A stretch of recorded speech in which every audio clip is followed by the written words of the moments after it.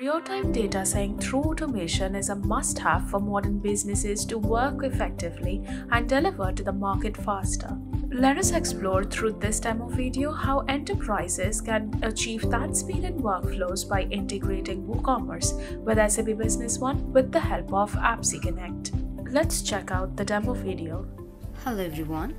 Today we are going to take a look how APPSeCONNECT helped to sync data between WooCommerce and SAP B1. To begin with, log into the APPSeCONNECT portal.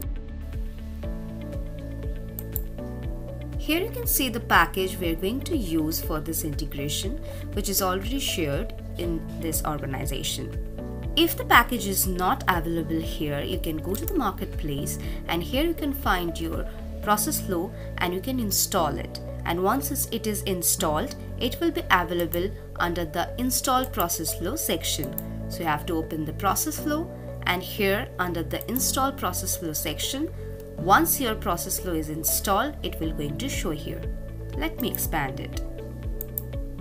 If I click on the version in that case in the right side all the integration points which is included in this WooCommerce and SAP B1 package will be showing here here from the context menu, select this edit option. This will open the process flow. Once the process flow is loaded here, select this deploy option and here select your preferred deployment environment from this choose environment drop down. You can choose host hosted or on-premise. Here I have chosen, for example, this on-premise one. And from here all the environment which are activated those will be showing. You can choose your one. And moving to the next.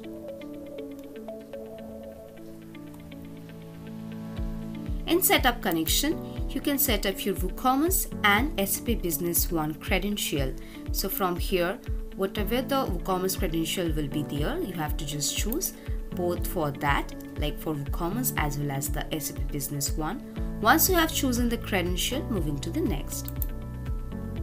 After that moving to the next and from here you can choose automatic sync or manual sync. Both are available for all the integration point. For auto sync you can put your timing frequency here and you can set your interval like from 1 minute or for 5 minutes the data will get synced. You can set your timer here and you can finish this process. If you wish to have this integration in manual mode, in that case you have to just toggle it and it will be saved as manual mode.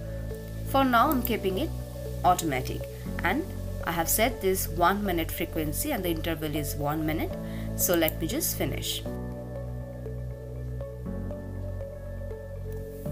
As you can see the process flow is deployed now I'm going to synchronize the data from WooCommerce to SAP B1. For that, I'm going to use the sales order add integration point. Well, the customer and product has already synced in both ways, so those are available both direction. I will choose the sales order now. So here you can see I have opened the front end of the WooCommerce side and where I have already logged in as a customer which has already synced from WooCommerce to SAP B1. For now, I'm going to the shop so I can place a sales order for that particular customer. Let me choose an item which I already have in my SAP B1 and WooCommerce both side.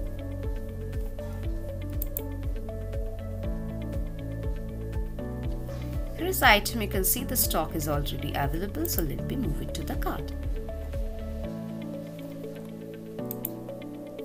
Going to the view cart segment and here let me apply all the details the shipping is already calculated and the addresses are already given, so I'm moving to the checkout option.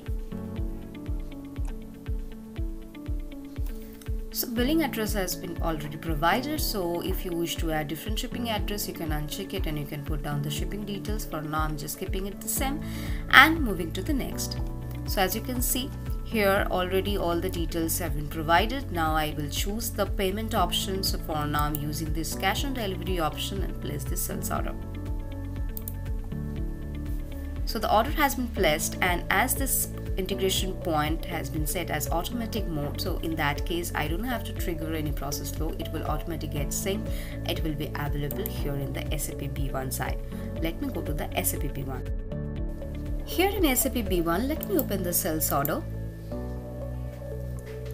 I'm opening the last one all the details which we have provided in the WooCommerce site, all these details has been synced here properly. You can see the line item information, the exact rate charges which we have provided, everything has synced. If we just go to the logistic tab, the different addresses for that particular customer has synced here. And the right side, you can find out the exact order ID. So you can check it. So if I go to the front end, it is 64736 and if I open the SAP B1, it has, has been synced as in return entity ID here. A duplicate check will always be on the top of this ID, so if it is already present in your SAP B1 side, it will not synchronize again. So there will be no chances of duplicate scenario at all.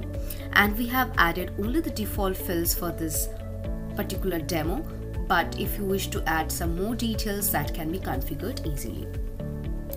We hope you have this demo video helpful. SAP Business One and WooCommerce integration made easy with APPSeCONNECT Modern iPaaS. The SAP Business One and WooCommerce connector can automate critical business process and streamline your organization data efficiently. Just like SAP B1, you can connect your WooCommerce with other ERP segment, for example, Dynamics Business Central, Dynamics GP, or Sage 300, etc. Vice versa, you can connect the SAP B1 with different e-commerce, for example, Magento, WooCommerce, Shopify, BigCommerce, etc. Also, if you wish, sync the CRM with SAP B1 or the ERP, you can do it as well. For example, we have connected for Salesforce, SAP B1, Zoho SAP B1, etc. For more details, please visit our website www.appseconnect.com.